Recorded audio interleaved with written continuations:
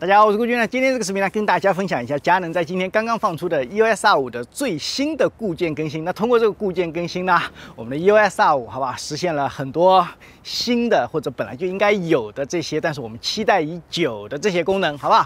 但是我先说一下，好吧，这个视频里面，我除了有脸上挂着的笑容，还有我，好吧，脑海里满是的疑问。那如果这个视频里我有什么说错的地方呢？希望你可以在弹幕或者在评论里面呢，呃，跟我探讨一下。在我说疑问之前呢，我先说一下这个1.3版本的这个固件更新给我们的 EOS R5 带来了什么，好吧？在这个部分，老说我真的还是蛮兴奋的。那第一个呢，就是我们期待已久的这个 C Log 3，好吧？注意 C Log 3不是 C Log 2。那 C Log 3呢，终于来到了我们的 EOS R5 上面。那 C Log 3，如果你不知道是个什么东西呢，基本上就是比本来的佳能的 EOS R5 的 C Log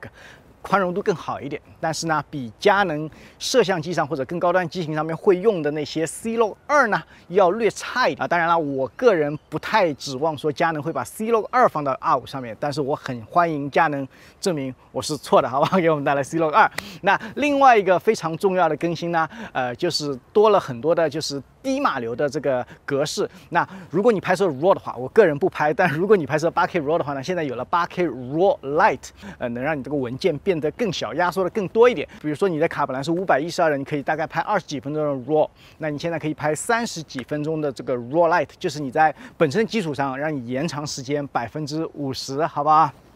这个应该都是男人的梦想了，就是脸上的笑容挡都挡不住。但是如果你本身拍的是普通的八 K、八 K IPB 或者四 K IPB 的话呢，呃，现在也多了这个 IPB Light，。那这个呢，我觉得就更加有用了。IPB Light 以后呢，就比你本身的这个 IPB 录制时间延长一倍，好吧？就我看我的这个卡，五百一十二的，本来我拍八 K IPB 的话，大概能拍一个小时三十五分钟，然后通过这个 IPB Light 以后呢，你可以拍摄三小时十分钟，是不是很惊人？是不是？你梦寐以求的东西啊，顿时延长时间一倍。那画质上面，我觉得并没有什么什么，至少我的测试当中，我觉得并没有什么呃缩水的地方。但是如果你要有大量的移动啊，比如水流啊、波浪啊之类的这种东西，一定会需要更大的码流。但是如果你拍摄的是一些静止的，相对来说静止的画面呢，呃，其实你可以使用这个 IPB Light。那我个人觉得，如果你拍摄 8K 的话，建议你使用 IPB Light。但如果你拍摄 4K 的话，其实 IPB 本身就不是很大。那你现在看到这个视频呢，就是我使用这个佳能更新过的以后的这个 C Log 3，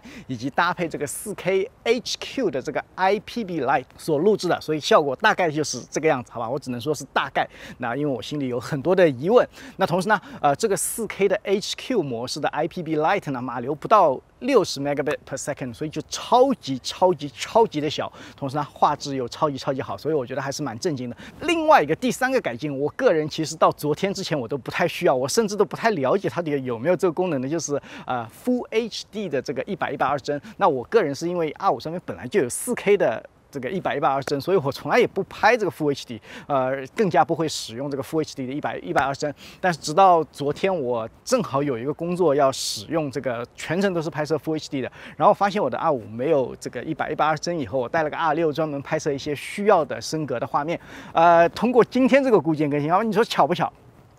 通过今天这个固件更新以后呢，我们的这个 EOS R5 就实现了这个呃，在 Full HD 的情况，一零八零 P 的情况下呢，呃，实现了这个一百一百二十帧。当然，如果你平时拍摄的就是一呃一零八零 P 的话，呃，相信这个更新对你来说还蛮有用的。那另外一个就是，如果你本身是没有这个 CF Express 的这个卡的话呢，你是拍不了 4K 的一百一百二十帧的。所以，如果你只用 SD 卡的话，现在你也可以拍摄一百一百二十帧了，只是分辨率你只能达到 Full HD 一零八零 P。那我觉得有这个功能总比没有好，因为昨天我真的很尴尬，就带了一台 R 五以后，我还专门带一台 R 六然后拍摄一些一百一百二十帧的画面。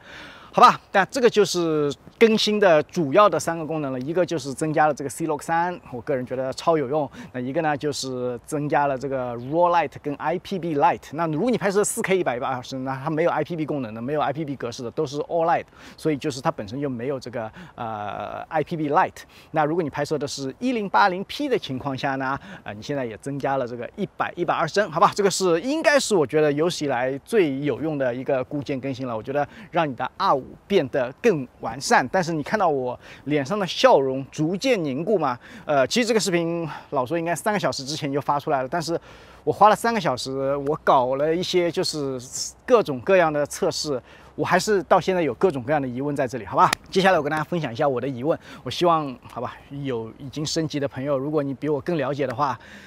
希望能告诉我怎么回事，因为我从来没有在佳能机身上发现这样的完全不可思议的一些问题。那第一个。更新了这个 C Log 三以后，当然肯定是好事，但是我没有想到这个用起来是这个样子。我现在的屏幕上监看，我如果打开这个，就是这个，就是套上 LUT 的这个监看以后，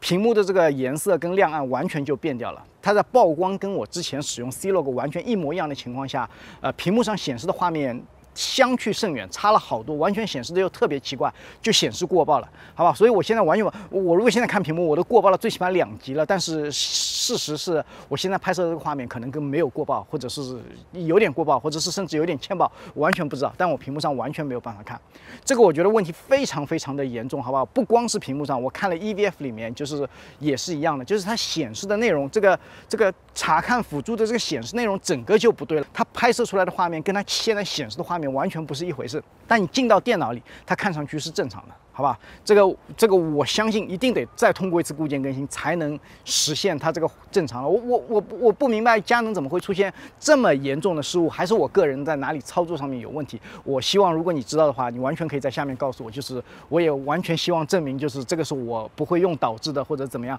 然后我也会出视频更正一下，就是这里我的操作失误是在哪导致了这样的问题。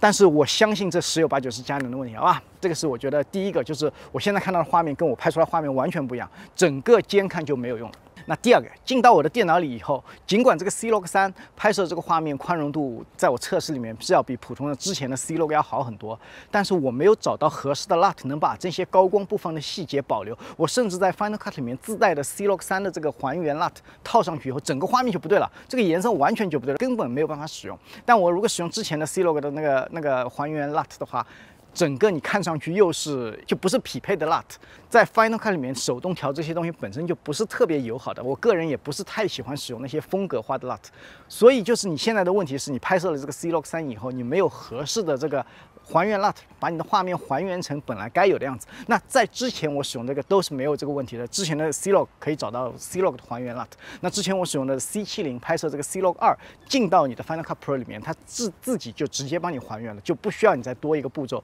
点击还原或者选择这个还原 LUT。而现在升级的这个 C Log 三，既不能使用 Final Cut。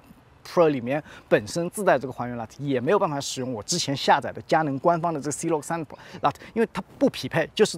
放上去以后完全就不对。如果真的是我哪里出错了，就是好吧，我在这里先说一声抱歉，就是我觉得可能是好吧，就是但之前佳能所有东西都是非常直接、易懂、易操作的，呃，但是这个。如此让人振奋的一个固件更新，我本来是很期待、很开心，带着笑容呃测试的，但是，好吧。一个小时过去，两个小时过去，三个小时过去，真的笑容就逐渐凝固。目前为止，我虽然能看到屏幕里面我人站在哪里，但是我整个衣服显示的，我整个脸显示的全部都是过曝的啊！但是这个视频我确信我是没有过曝。啊，最后最后有有一点，C Log 三固然好，但是 C Log 三的这个 base ISO 从 ISO 四百呃变成了现在的 ISO 八百，所以就是如果你要是光线特别强的情况下，呃需要开大光圈的话，又变得更加困难一点点。呃，但这个我觉得基本上不是问题。对我来说，目前主主要的问题是我的这个监看看不了了，然后我的拍摄呃进到电脑里了，没有合适的这个 LUT 可以官方直接提供给我，简单明了的告诉我使用这个 LUT，你就可以还原你看到的本身的画面，好吧？那这个视频就到这里，呃，我知道我现在好吧，看来有点严肃，不好意思啊，影响你的心情。那我们下个视频再见，拜拜。